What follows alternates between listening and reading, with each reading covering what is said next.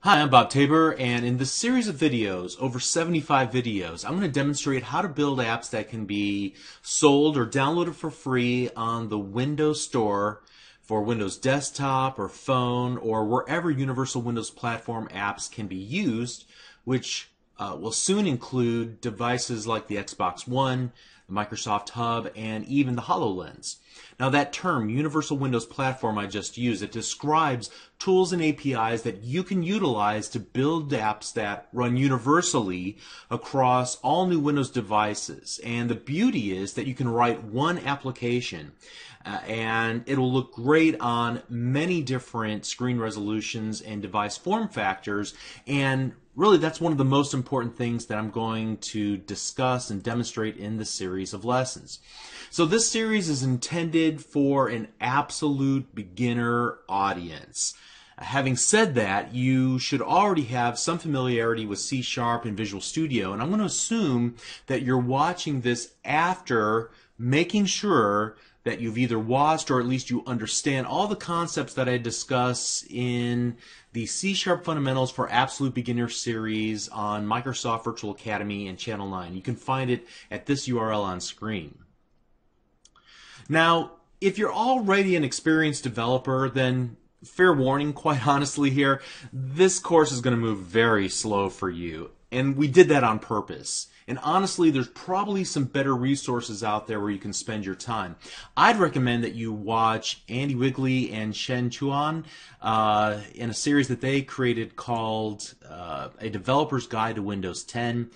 Great, up to date, it's awesome. And I'd recommend you start there if you're already an experienced developer. Now, this is the fourth version of this particular video series that I've created, uh, and I started way back on the Windows Phone 7 in about 2009, 2010.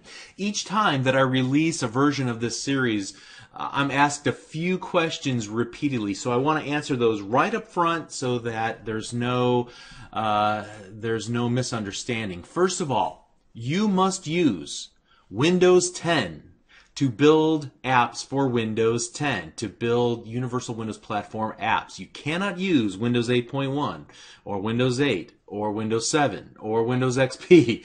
All right, you have to use Windows 10. That's number one. Number two, you have to use Visual Studio 2015. Now, I recommend that you use Visual Studio 2015 Community Edition, which is a free edition with all the features of the Pro Edition, but it's intended for individuals who are just learning or creating uh, community-based projects. Now, frankly, you can use other editions of Visual Studio, but not previous versions. You must use version 2015 to build Universal Windows Platform apps. So that's number two. Number three, you're going to see me use the, uh, the, the phone emulator in order to run and test my applications occasionally. It looked like a little phone running on my screen with a little menu off to the right hand side. Uh, it's actually running software called Hyper-V, which is a, uh, a platform for running virtual machines on your desktop. Uh, and so it's running the Windows Phone 10 operating system in a little virtual machine that looks like a phone. Now, you might need special hardware to run the phone emulator. Specifically, your motherboard and your and your chip must support a technology called SLAT, or rather second level address translations. Now, most modern motherboards will support this, however, not all motherboards and chips support this most importantly, I can't help you with this. I very, I, I understand very little about it. If you get errors during install of Visual Studio 2015, then you can search Microsoft's forums for help. Uh, but again, I can't help you. I've tried to help in the past, and honestly, I've probably confused more people than I've actually helped. Now, the worst case scenario, if you can't get uh, the emulator running on your local machine, is that you might need to deploy uh, your apps to a physical phone device running uh, either the full edition or beta edition of Windows Phone 10 for the purpose of testing. It's simple to do, however, I don't demonstrate how to do that in this series of videos. There are articles online that'll show you how. Now, if you have all these things in place, then number four, you're going to need to turn on developer mode. And the way that you get that is you open up settings uh, in Windows 10 and you go to update and security And then on the left hand side, you select for developers and then make sure to choose developer mode. And if it asks you to save, then go ahead and save. Uh, I'm not sure, I can't remember that particular part. But make sure that you have that set. Visual Studio will probably give you an error whenever you first run an application if you don't have that setting set up, okay? Now, this series of videos is about 15 or 16 hours long. It's fairly comprehensive. Uh, and one of the most important new features of this training series is that I'm going to give you homework assignments called challenges.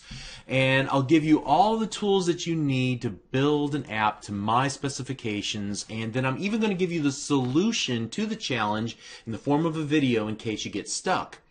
And uh, that's a great way for you, and you should definitely do these challenges in order to get your hands dirty in the code, as I like to say.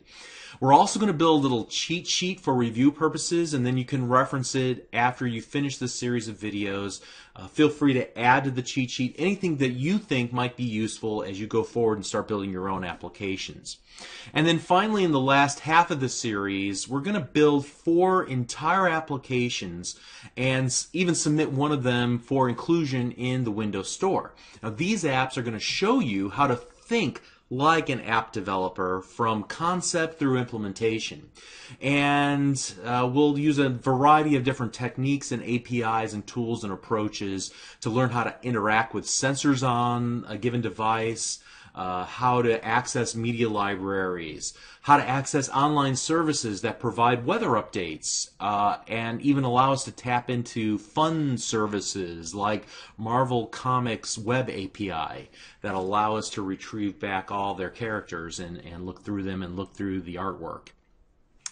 Now, many of the videos uh, in the series will have a zip file associated with them that contains the code that I wrote while recording the video. Or in the case of challenges, like I just described a moment ago, it'll contain the images that you need, any instructions, or any other files that'll be required in order to actually perform that challenge. Now, the file will be on the page where you're currently watching the the video or where you originally downloaded the video from. So please, before you ask in the comments, I can't find the download link. Where's the download link? The download link. Uh, please hit Control F on your keyboard in your web browser and search for the term download.